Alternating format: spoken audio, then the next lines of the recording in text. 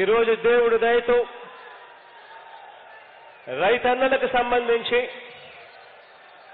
రెండు మంచి కార్యక్రమాలు ఈరోజు మన గుంటూరు జిల్లా తెనాలి నుంచి ఈరోజు చేస్తా ఉన్నాం. అరకోటికి పైగా రైతు కుటుంబాలకు ఈ కార్యక్రమం వల్ల ఈరోజు మంచి జరుగుతుంది. ఇందులో మొదటిది వరుసగా నాలుగవ ఏడాదికి సంబంధించి వైఎస్ఆర్ రైతు భరోసా పిఎం కిసాన్ నిధులకు సంబంధించి నాలుగవ విడతకు సంబంధించిన నిధులు ఈ కార్యక్రమం అయిపోయిన వెంటనే బటన్ నొక్కి నేరుగా విడుదల చేసే కార్యక్రమం జరుగుతుంది.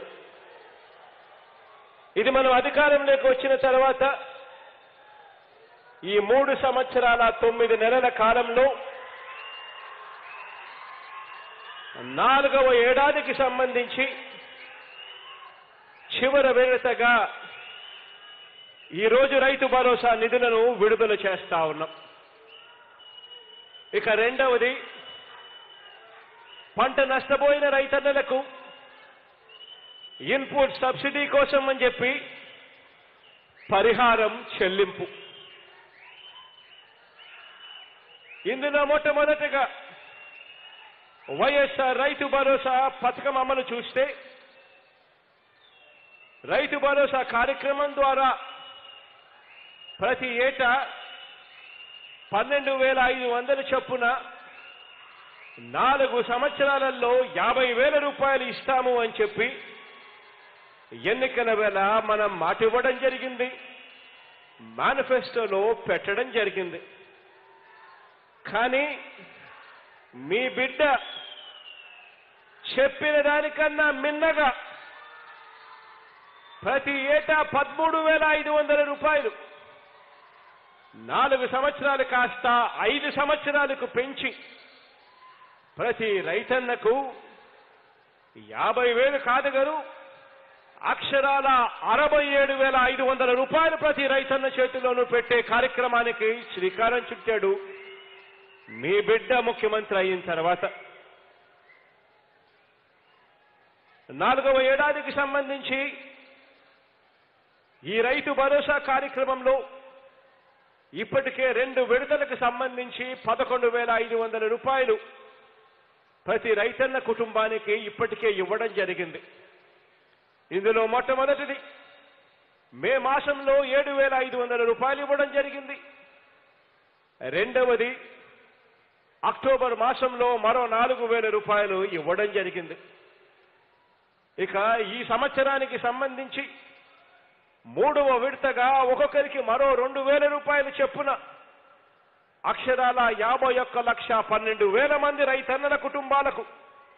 వారి ఖాతాల్లో ఈ కార్యక్రమం అయిపోయిన వెంటనే నేరుగా బటన్ నొక్కి వెయ్యి తొంభై కోట్ల రూపాయలు నేరుగా వాళ్ళ బ్యాంకు ఖాతాల్లోకి జమ చేయడం జరుగుతుంది. అని సగర్వంగా మీ బిడ్డగా తెలియజేస్తా ఉన్నాను. ఈ విడత ఈ రోజు మనం ఇచ్చే ఈ సహాయంతో కూడా కలుపుకుంటే ఇప్పటిదాకా కేవలం ఈ వైఎస్ఆర్ రైతు భరోసా పిఎం కిసాన్ అనే ఈ ఒక్క కార్యక్రమం ద్వారానే రాష్ట్రంలో రైతన్నల కుటుంబాలకు అక్షరాల ఈ నాలుగు సంవత్సరాల కాలంలోనే ఒక్కొక్క కుటుంబానికి అందిన సాయం అక్షరాల యాభై నాలుగు వేల రూపాయలు ఇప్పటికే అందించినట్టు అవుతుంది. ఇక వైఎస్ఆర్ రైతు భరోసా సహాయం అందుకున్న ప్రతి రైతన్న కుటుంబానికి కూడా. వచ్చే ఏడాది కూడా మనం ఇవ్వనున్న రైతు భరోసా పదమూడు వేల ఐదు వందల రూపాయలు కూడా కలుపుకుంటే మొత్తంగా ఈ ఐదు సంవత్సరాల కాలంలో అక్షరాల ప్రతి రైతన్న కుటుంబానికి కేవలం ఈ ఒక్క రైతు భరోసా పథకం అనే ఒక్క పథకం ద్వారానే అక్షరాల ప్రతి కుటుంబానికి అరవై ఏడు వేల ఐదు వందల రూపాయలు ప్రతి రైతన్న చేతిలోనూ పెట్టినట్టు అవుతుంది. ఆలోచన చేయమని అడుగుతా ఉన్నా. నేడు అందిస్తా ఉన్న ఈ వెయ్యి తొంభై కోట్ల రూపాయలను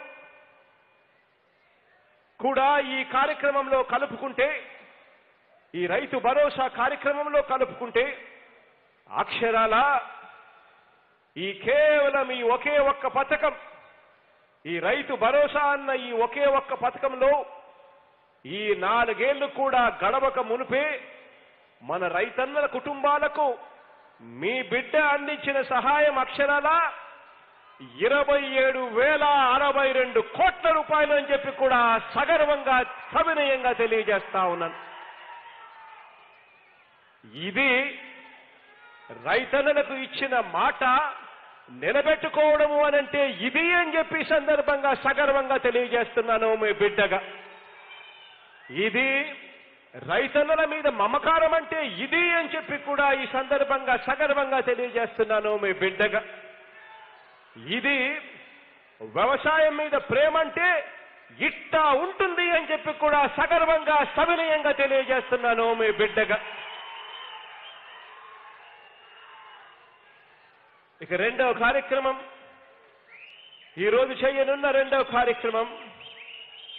పంట నష్ట పరిహారానికి సంబంధించిన నిధులు విడుదల చేయడం.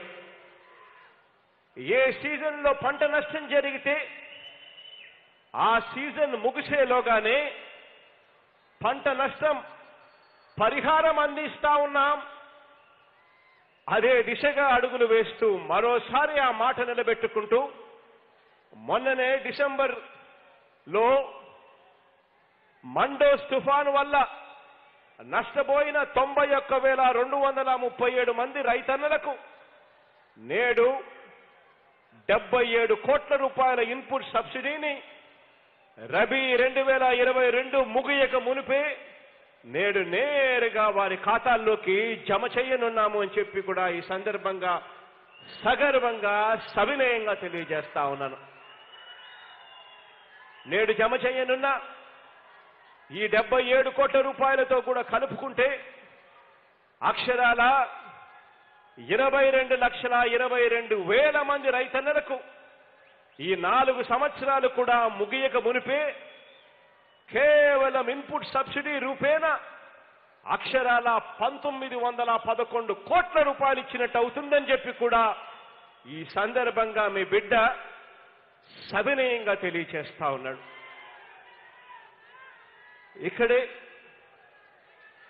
మరికొన్ని విషయాలు కూడా మీతో పంచుకోవాలి.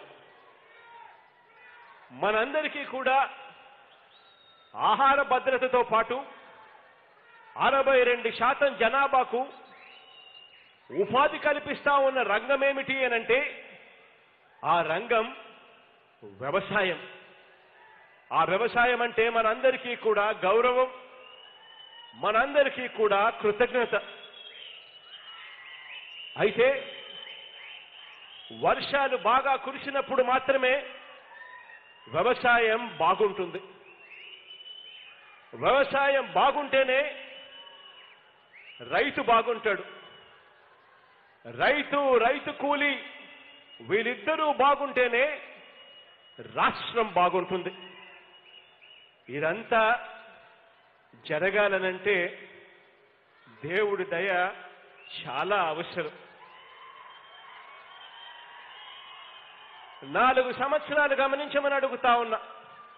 మీ బిడ్డ మనందరి ప్రభుత్వం ఏర్పాటు అయిపోయిన అయిన తర్వాత నాలుగు సంవత్సరాలుగా దేవుడి దయ వల్ల వర్షాలు సమృద్ధిగా పడ్డాయి. గతంలో మాదిరిగా రేన్ గన్ను లేవు. ఈరోజు రాష్ట్ర వ్యాప్తంగా రేన్ మాత్రమే ఉంది ఈరోజు.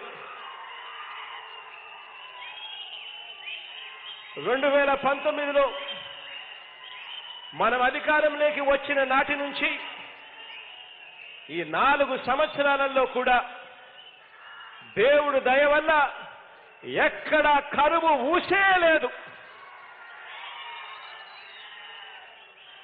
మరి ఒక్కసారి గతాన్ని జ్ఞాపకం తెచ్చుకోమని అడుగుతా ఉన్నా. రెండు వేల పద్నాలుగు నుంచి పంతొమ్మిది మధ్య గత ప్రభుత్వ హయాంలో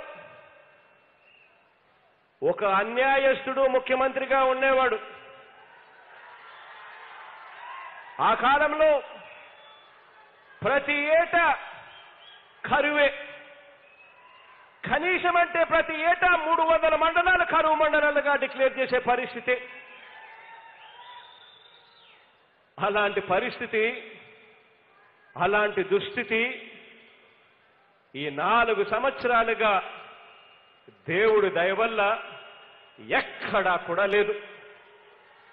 ఈరోజు మీ బిడ్డ మీ అందరి బిడ్డ మీ బిడ్డ మీ అందరి ప్రభుత్వం అధికారం లేకొచ్చిన తర్వాత ఈ నాలుగు సంవత్సరాలుగా ఒక్కటంటే ఒక్క మండలం కూడా కరువు మండలంగా డిక్లేర్ చేయాల్సిన అవసరం లేకుండా ఈరోజు దేవుడు దయతో ఈరోజు పరిపాలన సాగుతా ఉంది.